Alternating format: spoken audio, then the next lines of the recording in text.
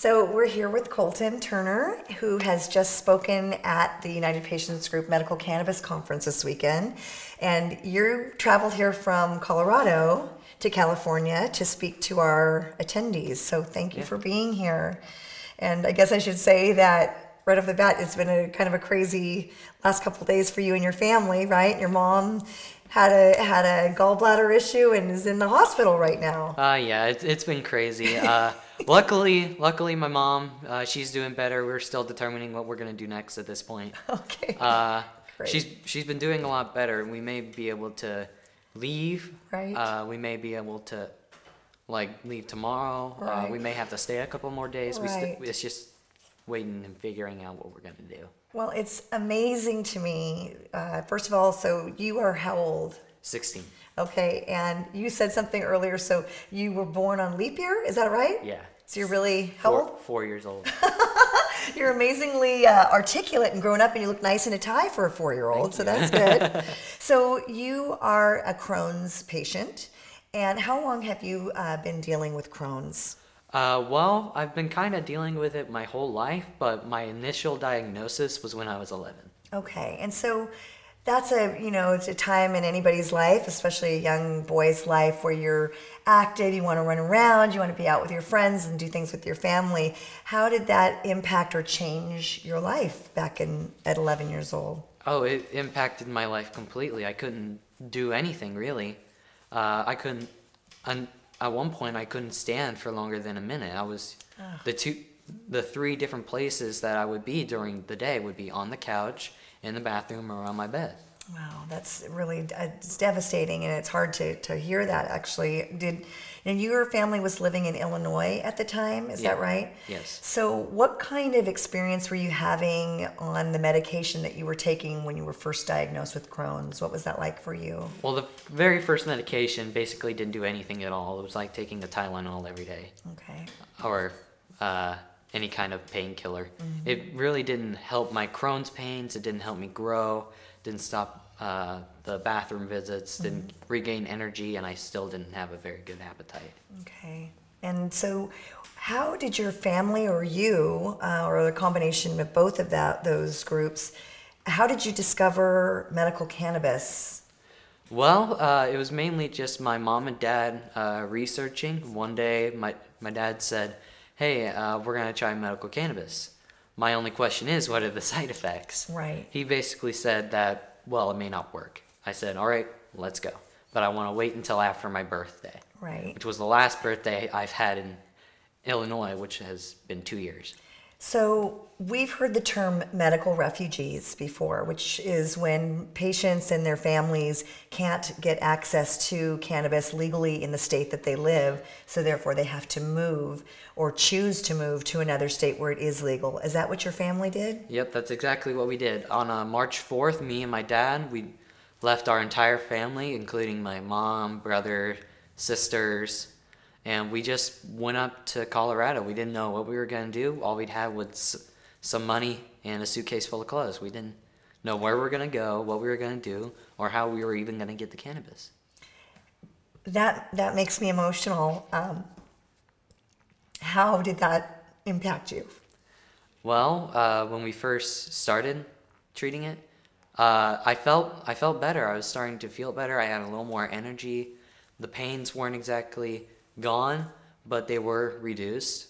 Uh, this was just mainly because uh, when we first came out here, we were mainly getting our medicine from recreational dispensaries, Okay. and we would basically make them into little pop brownies. My dad would try one, see how it affect him, cut it in quarters, and then he'd give it to me. And you were about 13 at the time, 14 years old at the time? Uh, I was just turning 14. You were just turning 14. And so, obviously, because you'd been living with this pain, the discomfort, the interruption to your life in general, was this a, uh, did you feel, um, how quickly did you feel like this was helping you? Uh, it only took a couple of days to actually see the effects Wow. that it was ta- that was taking place. Amazing.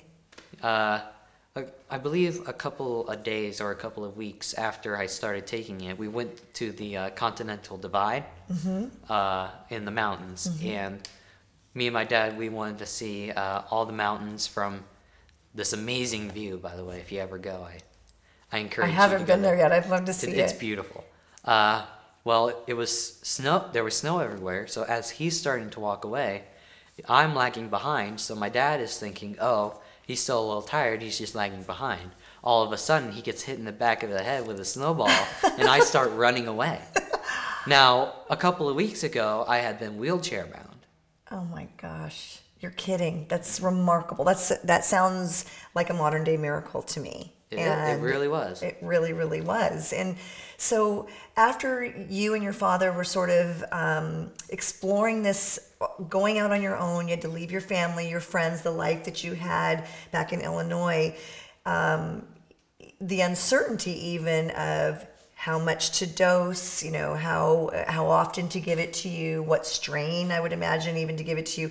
Have things changed now? Uh, are you uh, finding that there is a lot more relevant and and uh, uh, reliable information out there for other patients that are following in your footsteps? Yeah, I think that there's uh, a whole lot of information out there. It's just a matter of finding it out yourself. I don't, me personally, I'm pro choice. I don't think that I should force cannabis legalization on people, but I, I don't think that they should hate on cannabis either. I think that they should do their own research mm-hmm. and figure out their own opinion on it. Right. Because a lot of people, including my dad, they had the DARE program and Right. programs they shoved down their throat, so they know they don't know anything else. They really don't have their own opinion on, on it.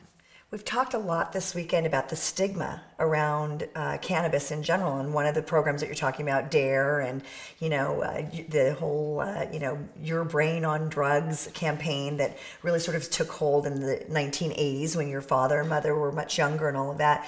It has had a long-lasting negative effect on people in general and their perception of what cannabis is or you know known much more widely as a recreational and illegal drug.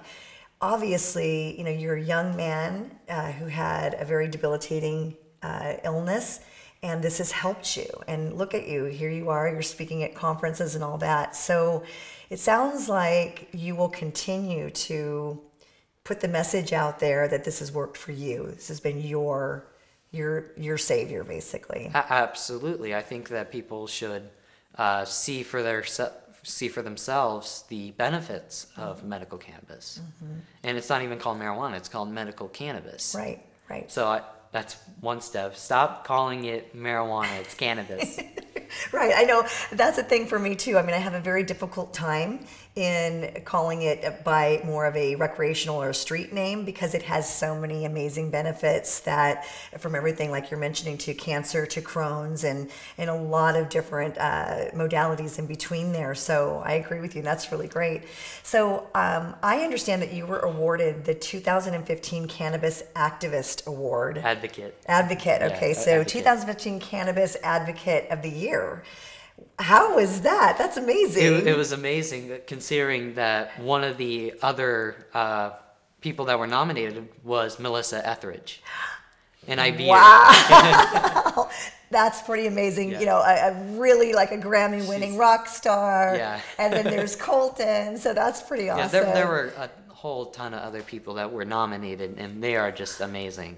Wow. But I, I am very grateful that I was even nominated in the first place. Well, and not only nominated, but but you were selected. That's really remarkable, and it sounds like you you know you've been sort of given a responsibility to make sure that uh, you know the voice and, and your words are heard out there more. So we understand that you have a pretty active. Is it a website that you have or a Uh, Facebook page? Uh, fa- Facebook, Twitter. Uh, we have a online website, coltynscrue.org. Okay. Uh, go on Facebook, Coltyn's Crue, Twitter, same thing. awesome. But just a fair warning, it's not crew as in C R E U. It's like Mötley Crüe, C R U E. Got it. Okay. And who was the Mötley Crüe fan in your in your world? That is it you or My mom. Okay, so your mom's a secret rocker. That's or maybe not so secret after all. So that's good. That's good. Coltyn, we are so happy to see how healthy you are and how articulate and obviously passionate you are about medicinal cannabis. Thank you so much for being here at United Patients Group, and we wish you the best health for the rest of your life. Thank you. It's been a pleasure to, just to be here. Great, great. Thank you so much. No problem.